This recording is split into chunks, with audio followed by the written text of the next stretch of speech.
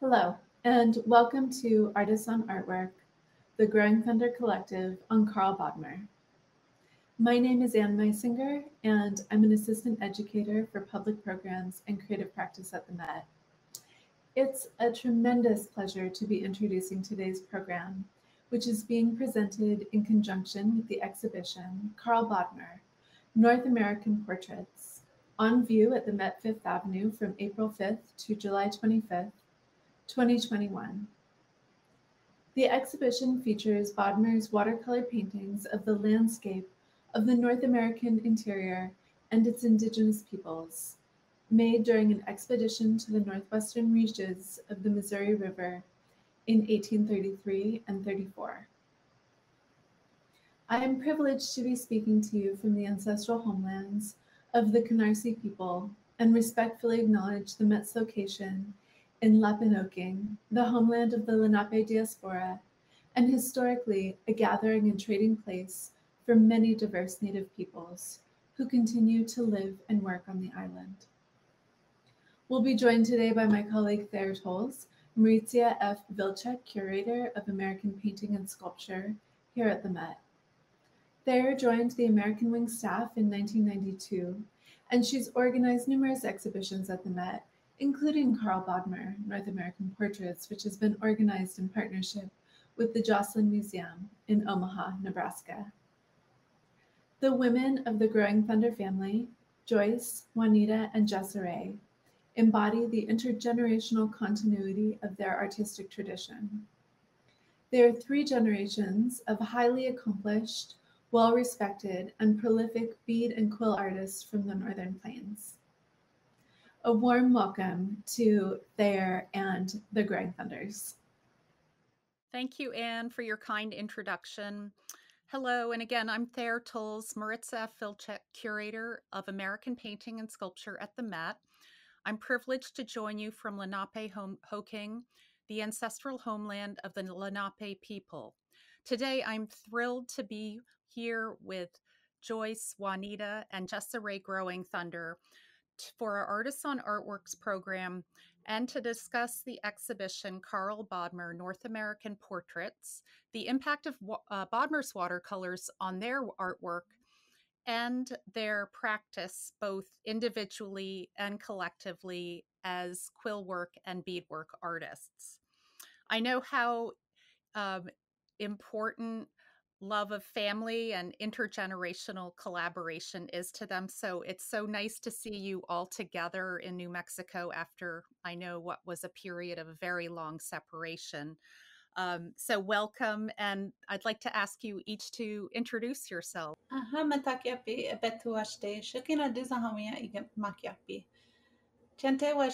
Chujiapi. Uh, good day to all my relations. My name is Jessa Rae Growing Thunder. Um, the Growing Thunder family, we originally come from Chelsea, Montana, um, but we call Poplar, Montana our home. Um, we come from the Fort Peck Reservation in the far northeast corner of Montana. I am the granddaughter, um, the daughter. I am also a mother, a wife, a sister, an auntie, and um, a third generational beadwork and quillwork artist. And I'm thrilled to be here with y'all today.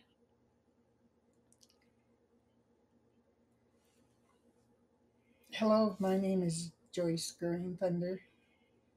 I'm um, from the Fort Peck Indian Reservation, northeastern Montana, Poplar, Montana. And um, I'm glad to, to be here on this interview. Hi, Matakiapi, Juanita Growing Thunder Fogarty, and I'm excited to be here to talk about the Bodmer exhibition today. So it's going to be fun. The the quilt that you're all sitting in front of is so striking. Can you tell us a bit about it? Yeah, so behind us, um, this is my my own personal collection of uh, star quilts, and so there's about I think there's about nine star quilts um, stacked up behind us. And so um, star quilts are, are really specific to where we come from, um, the Fort Peck, Assiniboine, and Sioux peoples. And, um, you know, they're, they're a blessing to be given. It's just like a, an honoring because to have a blanket was a status of wealth. Um, you know, it comes during that era of, you know, being given uh, fabric along with the rations, Mhm. right? And and learning to be creative with how we how we create things. And so our women began doing star quilts. And so now it's a status of wealth and of honor to be given these. And so I've been really fortunate in my life um, that I've been in these various roles and um, I've been given these gifts. And so I, I love to have them out to, to always make sure that if anybody comes in my home, they know, you know, I carry I carry my grandmas with me. A lot of these were given to me by my grandmas. Um, like I said, I'm a grandma's girl. I love all my grandmas. And so they, like I do. yeah, you should explain the kinship of the grandmas in Yeah. our society. our our grandmas you know um i think there's a lot of of misunderstanding about our our kinship systems and where we come from you know on our dakota and dakota blood you know our our women are in the center of everything. You know we were we were women centered we were matrilineal traditionally. Um, of course we had a balance though as well right? But um you know our grandmas are how we identify ourselves. You know i come from my grandmother and and, and how our kinship system is set up is we're we're very tight knit you know my grandma's brothers and sisters are also my grandparents so all of her sisters that she has even all the ones that she has adopted you know throughout her life i call them all grandma and and my mom you know she she has all her brothers um you know my uncles they're my fathers um, and so all of us cousins, we all call each other brothers and sisters. And so that's kind of how our kinship system works. It's wonderfully inclusive.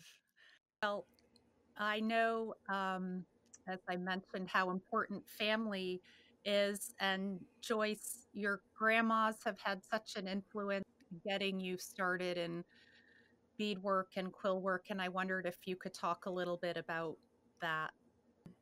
I was raised by my grandmother, Josephine Greyhawk. And um, we used to go visit my other grandmothers that lived up on on um, on the hill. One of my grandmas, Elizabeth Jones, she's she was a, a bead worker and she did beautiful big beaded tops like the one here. And uh, I was so impressed, like I was uh, like five or six years old. And um, to see her just sitting on the bed beading and she'd have like one part done, and the other parts were just plain, and she just did it by, she didn't use uh, like drawn drawn out or anything. It just all came out of her head because she's done so many, so much of it. I've been uh, beading like this um, ever since I was like A young girl. young girl, young girl when I could get my own materials, and um, that's what I. It was always uh, like I was meant to to do this. I really enjoy doing it now, and like I, I'm um, I guess I'm sort of different, like for my daughter, because when I work on one project or bead beaded piece, I always work on one thing and try to finish it. That's what I do, anyway. So I've been working on this dress. This is a beaded, solid beaded tops like my grandmother's made. And I'm beading this for my granddaughter Jessa. It's beaded in, in red because that's an honor color. And um, I'm trying to finish it. It'll be finished by the spring. Yeah, she doesn't draw things out or plan it Mm-mm. out. It's a um, really organic type of thing when she starts going, and she'll she'll know what design she's going to put where and everything. So and that's just like how you know she grew up watching her grandma's bead you know and she talks about you know there was nothing here you know there was no no guidelines no drawn out pattern or design because they just knew and that's what's always amazing watching you know my unchi work my grandma is because everything is just so natural right? Yeah it's it's organic. nat- it's organic because you don't know which way the um, materials are going to go or how your bead patterns might be just a little bit different than you thought and but she just it's like the way her hands work it's it's almost like a muscle memory. Um, they just do it and it just happens for her. Whereas i think both of us you know we like to to draw things out we and to to know what's plan going to go down yeah. Listening to Joyce talk about growing up with her grandmas, one of the first things Jessa Rae told me was about how when you visited non native families when you were a young girl, you didn't understand why they weren't beading and understood the importance of beadwork and quill work to your people.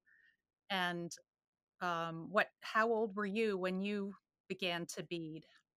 um well that's the thing is you know my my grandma she she always talks about like she she was put here for this you know she was put here to bead and to do these things um and, and my mom and my grandma you know they don't take days off they they do this every single day and this was how i grew up you know i i grew up surrounded by beads and by quills and you know this was just normal to me. And i picked up my own first needle and thread by the time i was three um, just because I, I was innate. I, it seemed natural. And um, i remember being about five or six years old and i went to my friend's house and i understood that i was native and my friend wasn't. I, I understood that.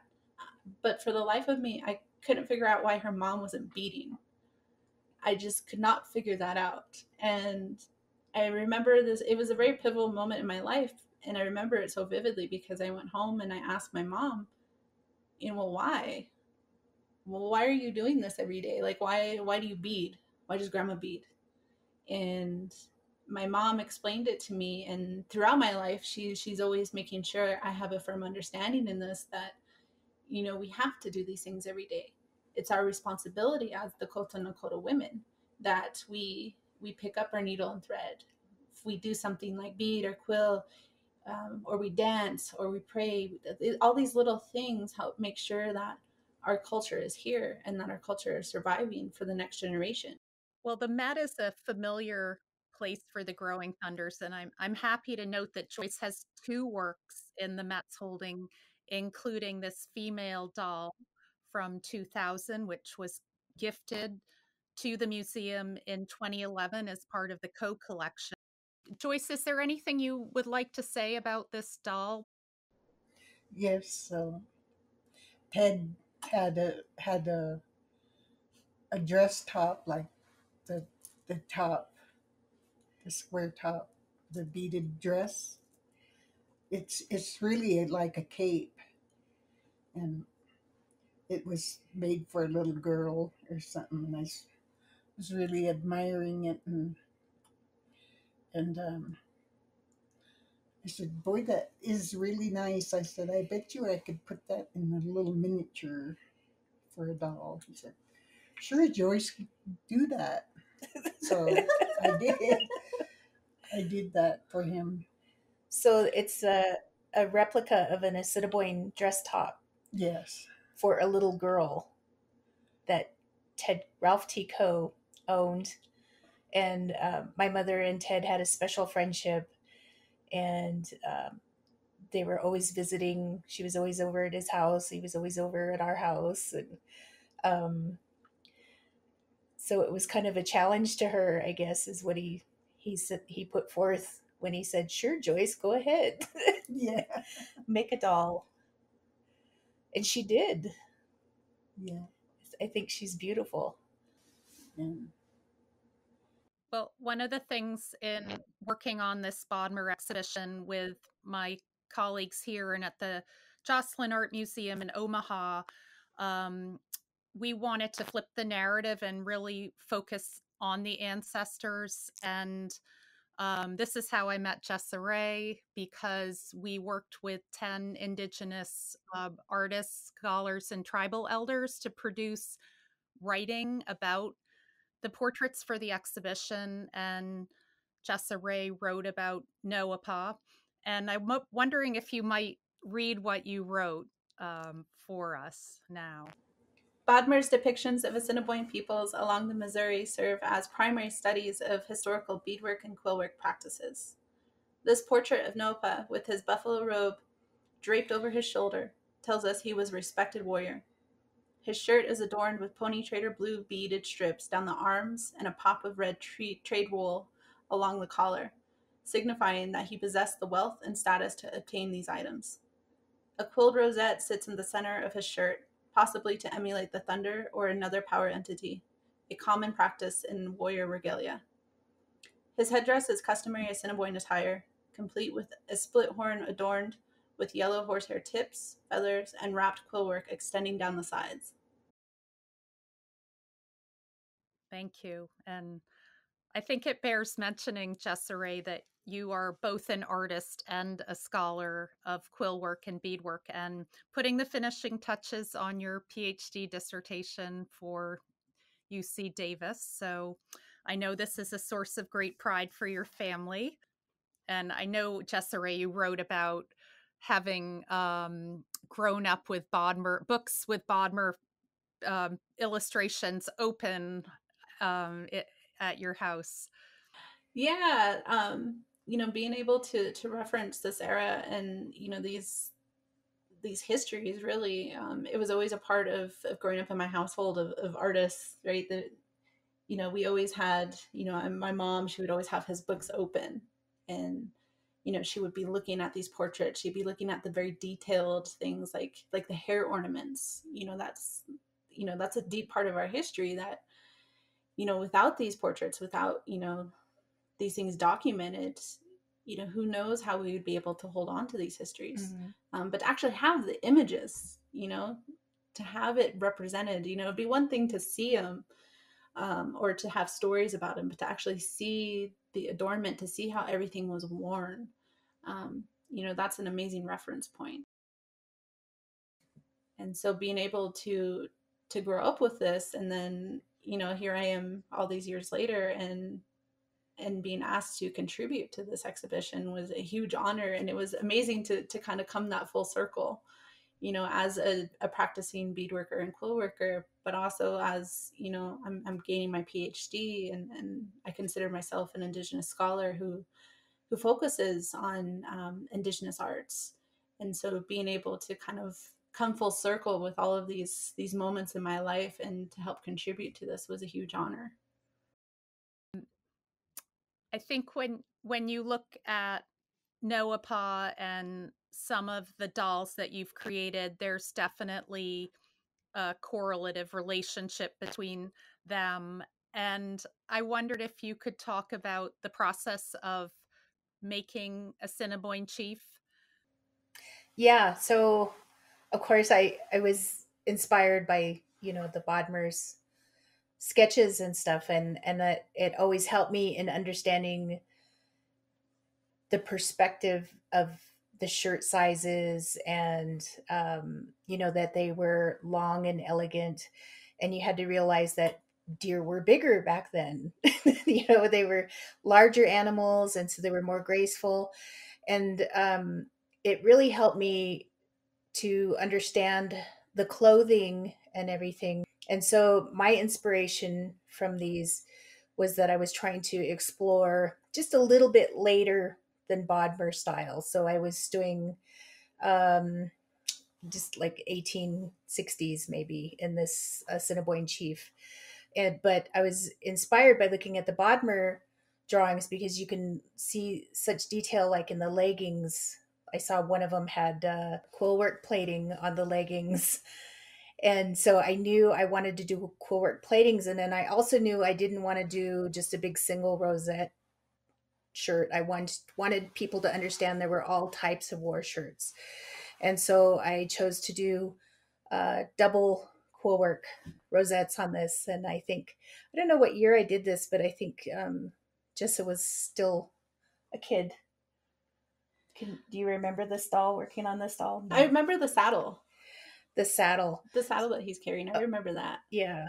So the shirt is all quill work and then it's edged with uh, micro beads and in a checkered style, which is typical of Assiniboine stuff, which I know because of the Bodmer drawings. So it was all just a learning experience with me when we started getting more detailed with these little figures was um, this was a great reference point for me and then every time that i look through these books and these these photographs and stuff i can see different details that i missed before Talking about scale, um, how do you even begin to approach a project of this scale and complexity? well my mother is fearless and has never been afraid to start a big project. And when she was approached by um, NMAI to do this dress she said oh yeah i could do it. So uh, when she was approached to ask and asked to do this dress um, she set herself the deadline. That she wanted to tell her family story about this dress. And um, so it inspired me that when she got her whole thing she knew what she was going to put on it and why she was putting it there. And i thought i'm going to help her and i'll i'll make a breastplate for her quillwork breastplate just just to so it looks its finest. But um jessa also when i told her i was going to make the quill breastplate to go with it jessa jumped up and said she wanted to help too. And so she said she could do a, bla- a blanket band But I think the whole process of why it was organic is grandma knew exactly what story she wanted to tell and what history she wanted to make sure she was representing. And when she knew that and she just you know the minute they approached her about this dress she she knew. She knew exactly what it was going to be what it was going to look like and what it was going to say. And that was inspiring. And i think you know it was innate that mom and i just you know okay well we'll help you you know Joyce, can you tell us the story? Um, because it is so personal and meaningful to hear it.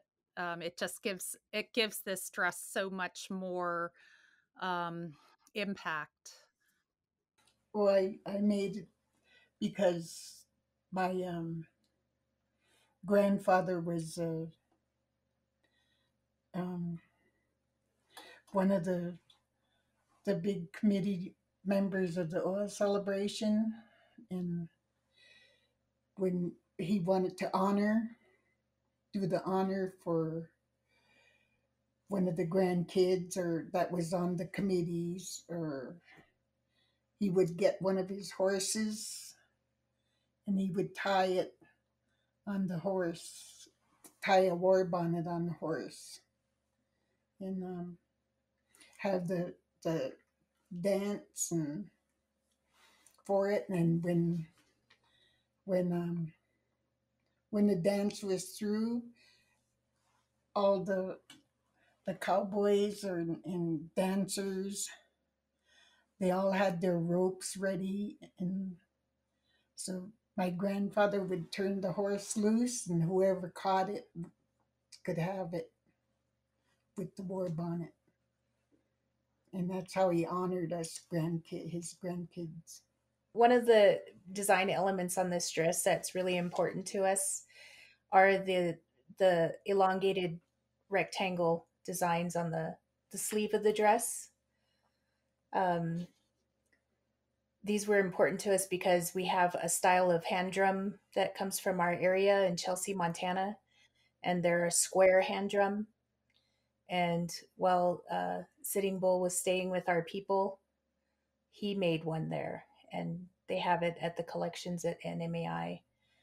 And um, I don't know of anywhere else where they make the square hand drums, and so that's really a pride pride for us. And even along like the borders and everything, she has, you know, those big big thunderclouds. You know, she's she's got everything on it that speaks to to what it means to be from Fort Peck. You know, she she in her dress, it's like she's talking about the land, she's talking about the environment, she's talking about the sky, she's she's talking about the people. Uh, it's beautiful. I was I'm really interested in the importance of dreams in the creative practice. Um, I know Juanita talked about how you've woken up and had uh, having had these dreams and then know what a piece wants to be. And I, I was hoping you could speak a little bit to that. I think, you know, the the tradition of of being a dreamer when you are a bead worker and a quill worker, I think that really speaks to, you know, this as a woman's tradition and that, you know, before colonization, before all of that, um, you know, before we even had beads, um, our women were given the gift of quill work. And we had societies and, and we had protocols and traditions that came with being a quill worker. There were certain traditions and protocols that came with being given that gift to create art with quill work and within those those teachings um, you know oftentimes you were given these things through dreams you know it was a matter of you know if these i guess like entities right? Mm-hmm. they they come to you in your dreams and they give you designs and they show you how to do something. Mm-hmm. you know they'll sit down with you and they'll they'll work with you. They'll show you how the stitching goes. They'll show you how to use your hands. And you know we we know the history of you know eventually you know through trade we were we were given the beads we were given you know needles we were giving all these new materials and so quill workers adapted and began working with the, the beads. And but we held on to a lot of those traditions from quill work right? And so you know i think that really speaks to where those dreams come from. And and that you know a lot of a lot of contemporary beadworkers like like my grandma like my mom and myself you know we're still dreamers you know we still get visits and you know i know i know my mom she's several times she wakes up in the middle of the night oh yeah and it's you know you have to be that's when it's fresh right so if they give you something like that and you are lucky enough to see it and i've had just flashes of things that were already made, right? So I know how it's got to be and and the general look of it. And so, um, just for example, the horse mask that I did for NMAI that came to me in a dream. So I had to I had to fulfill that and make that because it was asked of me to do that. So, um, and then I didn't start quill working until I dreamt of it.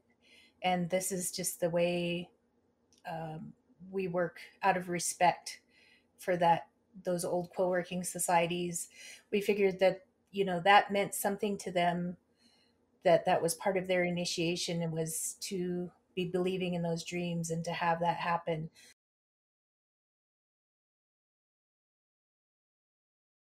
the presence of american flags in indigenous artworks has such a complicated history with often very personal resonances. And I think this is a, a perfect example of that. Um, yes, I, I did this bag when we were living, it was like 1980, 1976. Yeah. Mm-hmm. Yeah. We lived in Oswego, Montana, which is the middle of Assiniboine country. And um, I was just sitting there working on it, and uh, one of our relatives works for the road, the tribal road department, the heavy equipment, and he came by visiting. His name was uh, Buddy Pipe. He's my relative from Chelsea. That's where his family comes from too. And he, they were they were breaking ground south of Wolf Point, which is a few miles east of uh, Oswego, where we were living. And he came o- came over, and he was just kind of sad. And he said that they dug up about 300 Assiniboine burials down there south of Wolf Point, where they were clearing for housing and, and stuff. And it just made me feel bad, you know. So I was working on that. So I had the flag up on the other, the way it's supposed to be, but I just turned it upside down then at that time. She was just acknowledging the distress of her people.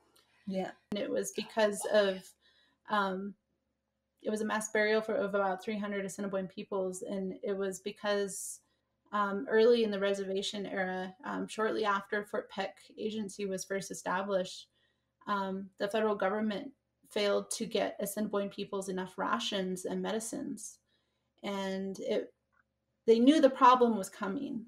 Um, you know, the agents at the time continuously wrote to um, to Washington, telling them, you know, we need more provisions for the Assiniboine population. We need more. We need more.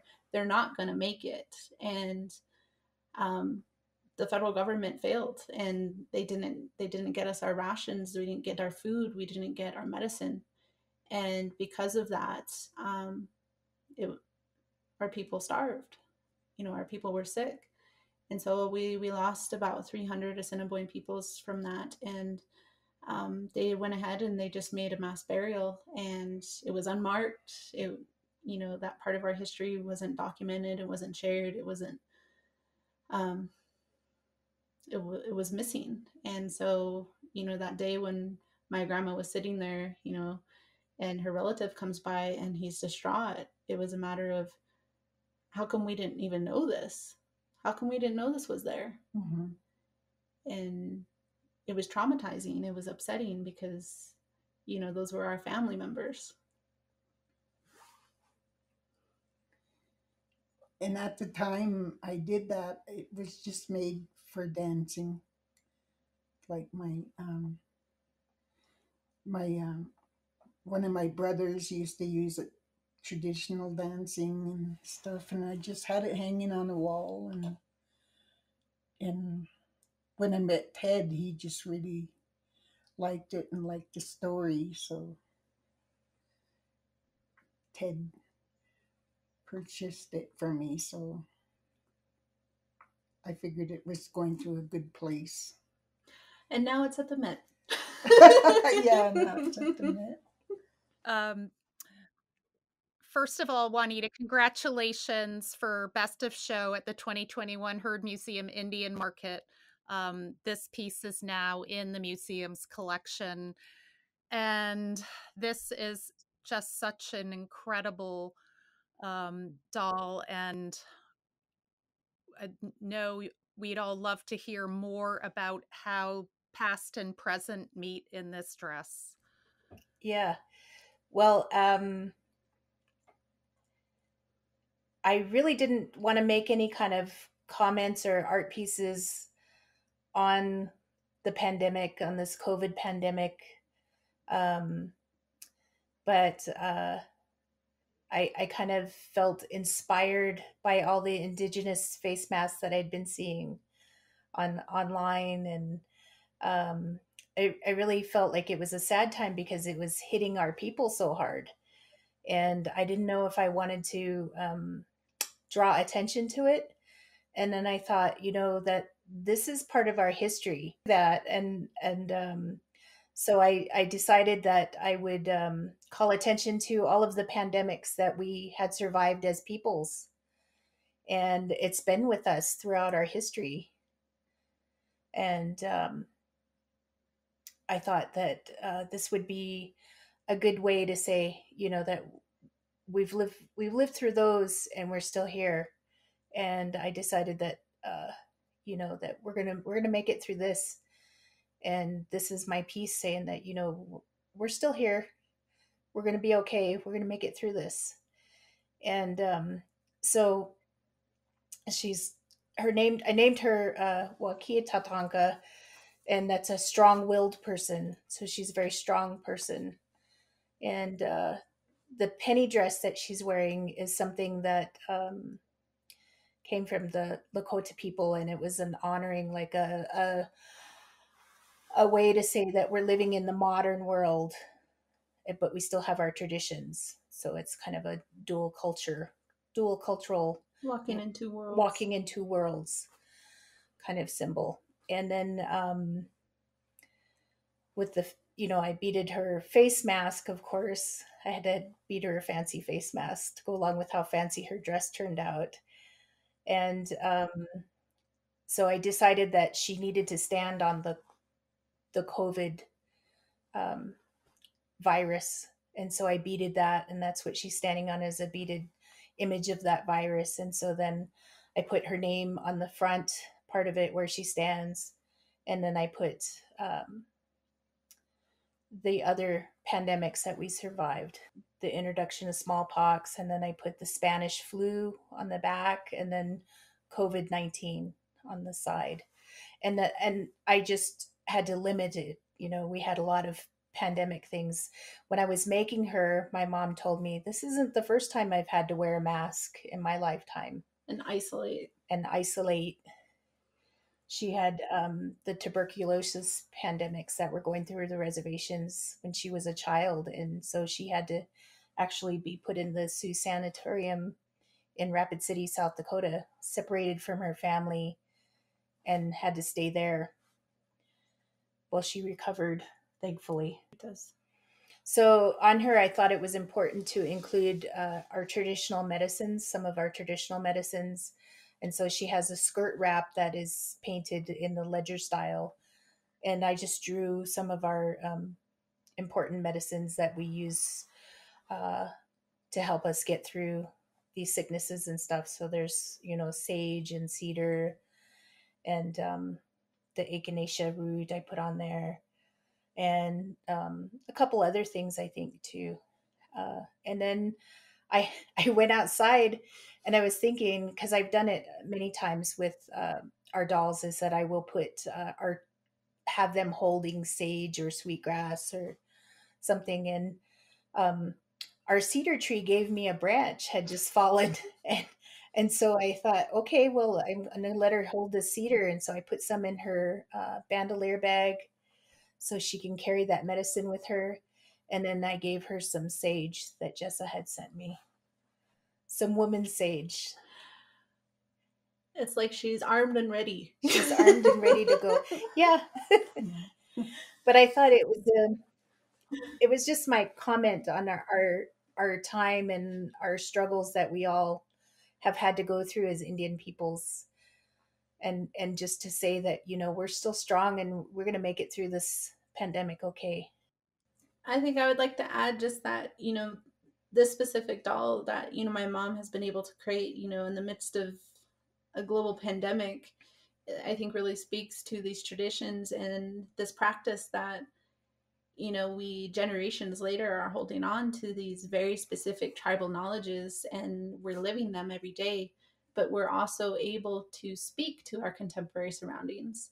We're able to to speak to our contemporary existence utilizing those traditions and and i think that you know that's where we're going. That's where we see beadwork and quillwork taking us and you know maintaining who we are and maintaining our cultural ways. And i think it's a real blessing to to be sitting in between these women and oh.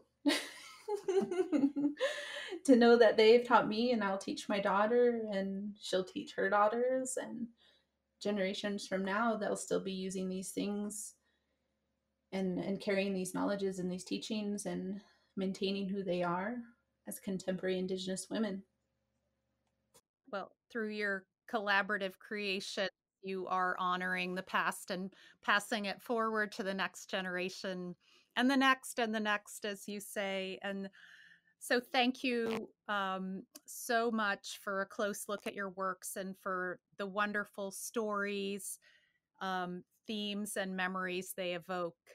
Thank you for having us there. Thank you. Yes, thank you. It was a lot of fun. Yeah.